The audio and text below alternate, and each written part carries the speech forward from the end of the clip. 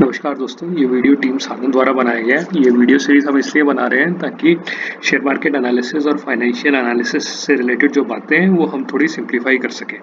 इस वीडियो में हम देखेंगे कि एफआईआई रिलेटेड जो आंकड़े हैं, वो आप एन की वेबसाइट मनी कंट्रोल की वेबसाइट और ट्रेंड लाइन की वेबसाइट से कैसे निकाल सकते हैं।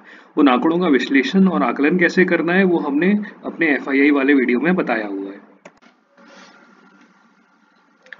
एफआईआई का डेटा एन पे देखने के लिए आपको www.nsecindia.com वेबसाइट पर जाना पड़ेगा। उसमें आपको नीचे एक प्रोडक्ट्स वाला सेक्शन दिखेगा। प्रोडक्ट्स वाले सेक्शन में जाके आपको इक्विटीज पे क्लिक करना पड़ेगा।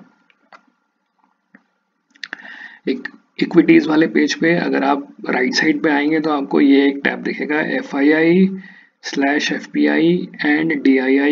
in C M F I I F P I और आई का क्या मीनिंग होता है वो हमने अपने आई वाले वीडियो में समझाया हुआ है। एम मतलब हो जाता है कैपिटल मार्केट मतलब वो मार्केट जिससे कंपनी ने पैसा उठाया क्लिक करते हैं। तो उसको क्लिक करने के बाद आपको ये टेबल दिखेगी। यही टेबल हमने अपने वीडियो में डिस्कस किए।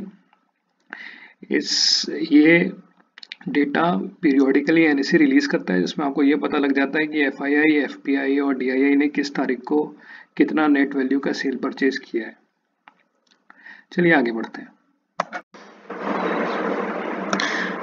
मनी कंट्रोल से एफ़ आई आई का डेटा लेने के लिए आप गूगल पे जाइए।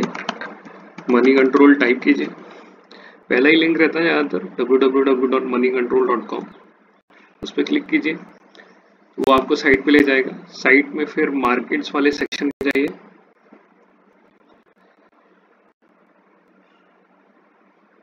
मार्केट्स वाले सेक्शन में जाने के बाद यहाँ पे एक ऑल स्टैट्स करके आपको ऑप्शन दिखेगा। ऑल स्टैट्स पे क्लिक कीजिए।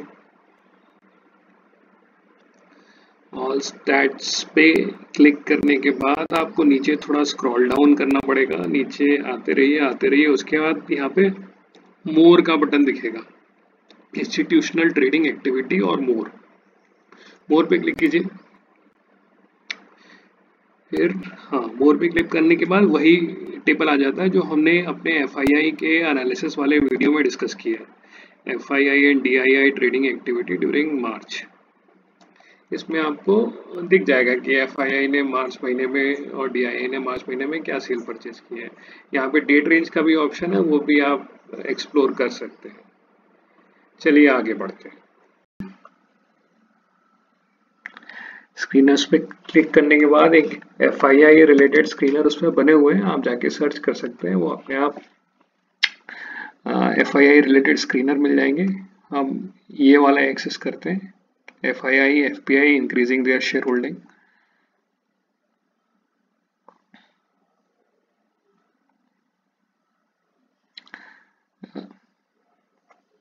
उसमें क्लिक करने के बाद आप नीचे स्क्रॉल डाउन करेंगे तो आपको पता चल जाएगा कि किस कंपनी में किस टाइप के मूवमेंट्स हुए लास्ट अपडेटेड कब तक है और बाकी डिटेल्स आप मिल जाएँगी, बाकी तो आप समझ जाएँगे देख के।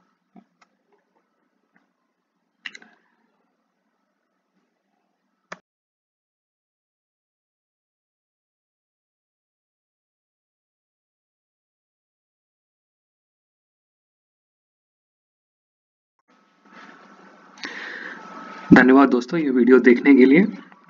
याद रखिए, ज्ञानम परमम बलम। सीखना ही इकलौता सॉल्यूशन है, सीखना ही आपके रिस्क को कम करेगा और आपके रिटर्न को बढ़ाएगा। अगर ये वीडियो पसंद आया तो लाइक करें सब्सक्राइब करें कमेंट करें। धन्यवाद।